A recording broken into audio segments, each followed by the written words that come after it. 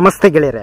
Welcome to allrounder ರಾಟ್ R C ಬಿಯ I P L ಎರಡ್ ಸಾವಿರದ ಇಪ್ಪತ್ನಾಲ್ಕರ ಅಭಿಯಾನ ಎಲಿಮಿನೇಟರ್ ನಲ್ಲೇ ಅಂತ್ಯವಾಗಿದೆ. ಈ ವರ್ಷವೂ ಕೂಡ ಆರ್ ಸಿ ಬಿಯ ಟ್ರೋಫಿ ಗೆಲ್ಲುವಿನ ಕನಸು ಕನಸಾಗಿಯೇ ಉಳಿದುಕೊಂಡಿದೆ. ಐ ಪಿ ಎಲ್ನ ಮೊದಲ ಅರ್ಧದಲ್ಲೇ ಆರ್ ಸಿ ಬಿ ಪ್ಲೇ ಆಫ್ಗೆ ಕೂಡ ಬರುವುದಿಲ್ಲ ಎನ್ನುವ ರೀತಿ ಆಟ ಆಡಿತ್ತು.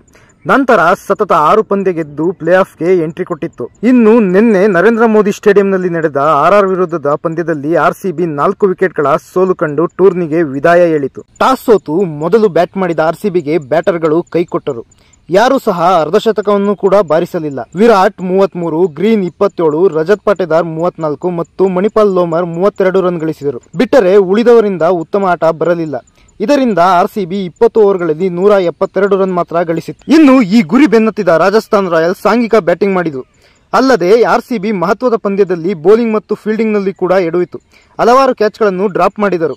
ಜೈಸ್ವಾಲ್ ಮೂವತ್ತು ಬಾಲ್ನಲ್ಲಿ ನಲವತ್ತೈದು ರನ್, ರಿಯಾನ್ ಪರಾಗ್ ಇಪ್ಪತ್ತಾರು ಬಾಲ್ನಲ್ಲಿ ಮೂವತ್ತಾರು ರನ್ ಗಳಿಸಿದರೆ ಕೊನೆಯಲ್ಲಿ ಎಟ್ಮಯರ್ ಹದಿನಾಲ್ಕು ಬಾಲ್ನಲ್ಲಿ ಇಪ್ಪತ್ತಾರು ಮತ್ತು ಪೋವೆಲ್ ಎಂಟು ಬಾಲ್ನಲ್ಲಿ ಹದಿನಾರು ರನ್ ಬಾರಿಸುವುದರೊಂದಿಗೆ ಆರ್ ಇನ್ನೂ ಒಂದು ಓವರ್ ಬಾಕಿ ಇರುವಂತೆಯೇ ಆರು ವಿಕೆಟ್ ಕಳೆದುಕೊಂಡು ನೂರ ಎಪ್ಪತ್ನಾಲ್ಕು ರನ್ ಗಳಿಸಿ ಗೆಲುವು ಸಾಧಿಸಿತು. ಇದರೊಂದಿಗೆ ಆರ್ ಆರ್ ಕ್ವಾಲಿಫೈಯರ್ ಟೂನಲ್ಲಿ ಎಸ್ ಆರ್ ಎಚ್ ವಿರುದ್ಧ ಆಡಲಿದೆ.